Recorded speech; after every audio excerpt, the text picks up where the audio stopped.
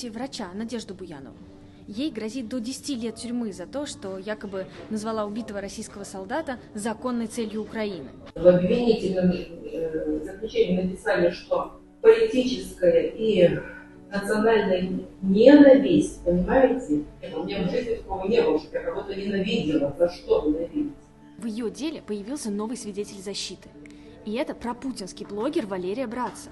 Я с ней поговорила. Самая украинка, которая во время начала СВО переехала жить из Европы в Россию. Она дружила с Анастасией Акиншиной, той самой женщиной, которая пожаловалась на Буянову, отдельно там подчеркнула, что врач родом из Львова, и этим дала старт уголовному делу но потом они поссорились. На данный момент Акинщина занимается травлей и клеветой в отношении меня. Она дискредитирует людей по национальному признаку, так как я тоже являюсь уроженкой Украины, которая переехала жить в Россию, в принципе, как и Буянова. Теперь братца планирует прийти в суд над Буяновой и все это рассказать.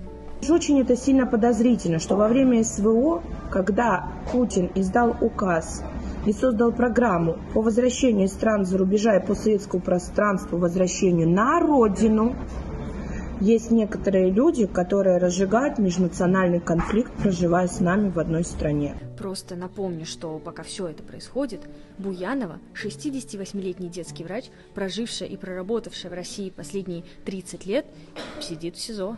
Всем привет! Обещала вам сделать сюрприз. Вот он мой сюрприз. Иди сюда. Тра-та-та! Узнает. Не не буде. Все, тушите свет, бросайте шлепки. Ага, моя девочка. Так что все. А, кто там из моих хохлушек? А, чё, как это?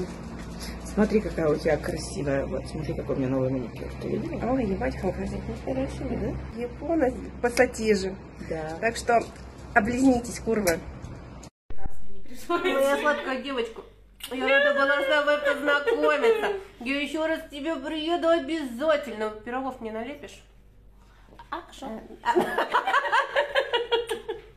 Моя куколка. Вот так вот, блядь, нужно дружить и общаться в ТикТоке. А не так, как вы, блядь, ну да. Балаболы, долбоебы. Зачем? Что она творит? Это женщина. Это просто пизда. Блядь, дай на кнопочку нажму. Ой, так Я такое первый раз слышу натуральный наркотик. Да, милая моя, опиум – это самый натуральный наркотик. Он производится из мака.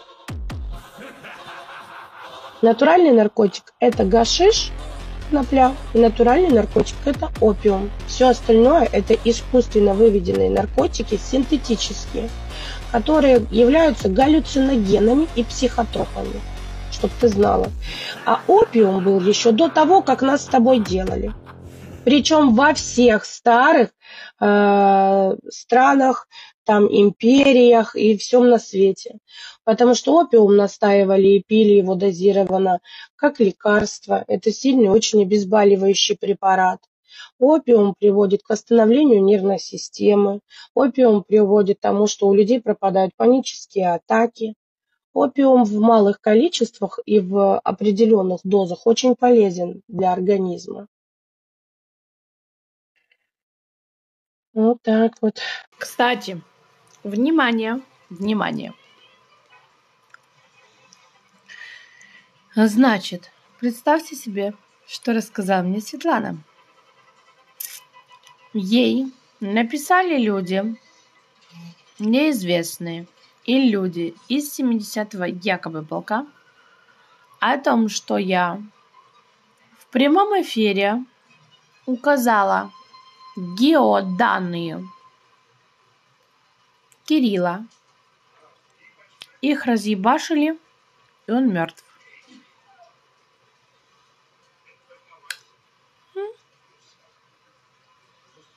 Я указала. Как вам? Пять. Пять дорог. Пять. Это первое. Это официальные проложенные дороги Google картой. А теперь у меня вопрос, блядь. А к берлоге никто доебаться не хочет. Ты видел его в видео? Он вообще снимает полностью нахуй, где они находятся. Еще и камерой ворочает. Это что за хуйня? М?